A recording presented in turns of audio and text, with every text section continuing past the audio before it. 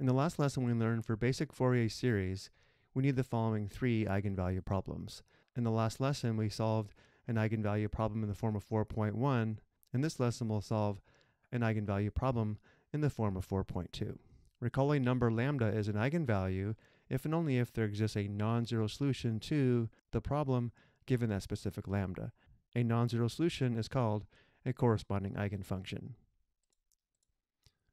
In this lesson, we'll compute the eigenvalues and eigenfunctions of x double prime plus lambda x equals 0 with x prime of 0 equals 0 and x prime of pi equals 0.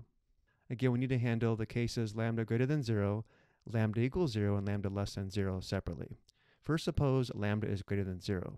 Then the general solution to x double prime plus lambda x equals 0 is x equals a cosine of square root lambda t plus b sine square root lambda t. And this is because the corresponding characteristic equation is r squared plus lambda equals 0, where again lambda is greater than 0, and therefore the characteristic equation has two complex solutions, plus or minus i square root lambda. So this is why the general solution is in the given form. And because we have x prime of 0 equals 0 and x prime of pi equals 0, we now need to find x prime, which is the derivative of x with respect to t, shown here. Notice this does require the chain rule. And now we use a condition x prime of 0 equals 0, which implies b equals 0. I've shown this work in blue on the right. Given x prime of 0 equals 0, we substitute 0 for t into x prime and set it equal to 0. This gives us negative a square root lambda sine 0 plus b square root lambda cosine 0 equals 0. We know sine 0 is 0 and cosine 0 is 1, which indicates the equation is only true when b equals 0. So if b is equal to 0, we now know x prime is equal to negative a square root lambda sine square root lambda t. We also know x is equal to a cosine of square root lambda t.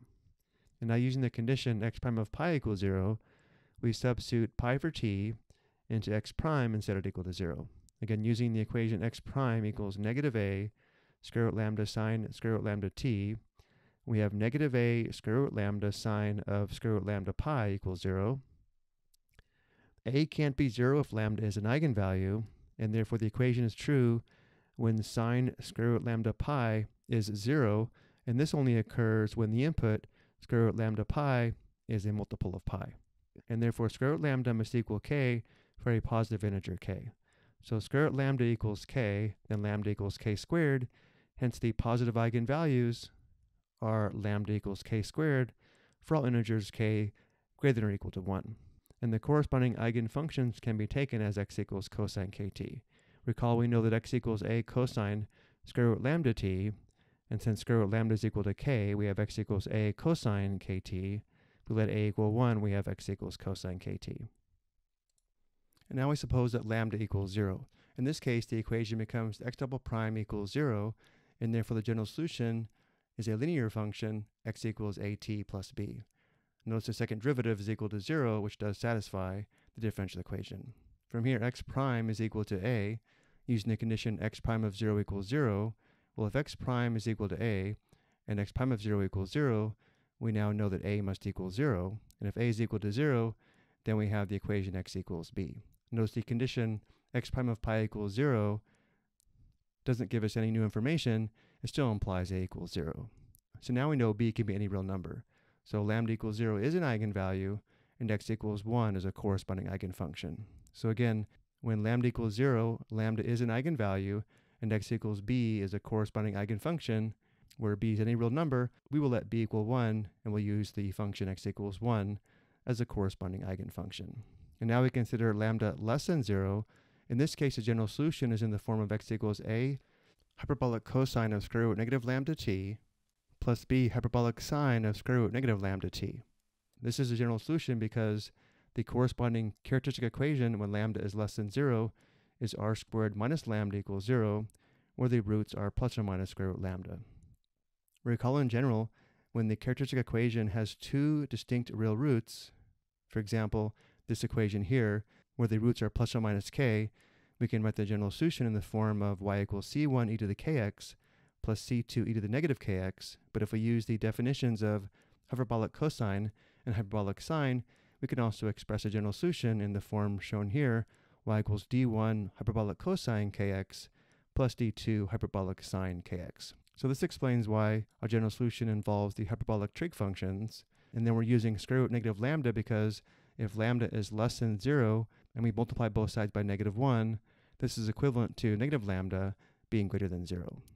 The next step, we find x prime, which requires a chain rule. And then using the condition x prime of 0 equals 0, we substitute 0 for t into x prime and set it equal to 0, which I've shown here in blue. Hyperbolic sine 0 is 0, hyperbolic cosine 0 is 1, and therefore the equation is only true when b equals 0. So if b is equal to 0, we now know x prime is equal to a square root negative lambda hyperbolic sine of square root negative lambda t. Using the condition x prime of pi equals 0, we substitute pi for t and set x prime equal to 0. This gives us a square root negative lambda hyperbolic sine of square root negative lambda pi equals 0. Recall that hyperbolic sine is only 0 when the input is 0, and because we're considering lambda less than 0, the input into the hyperbolic sine function is not 0, which implies a equals 0. So because both a and b are equal to 0, we don't have a non-zero solution, which indicates when lambda is less than 0, the only solution is x equals 0, and there are no negative eigenvalues. Let's summarize our findings. The eigenvalues and corresponding eigenfunctions are lambda sub k equals k squared, with an eigenfunction x sub k equals cosine kt for all integers k greater than or equal to 1, and there is another eigenvalue, lambda sub 0 equals 0, with an eigenfunction x sub 0 equals 1. I hope you found this helpful.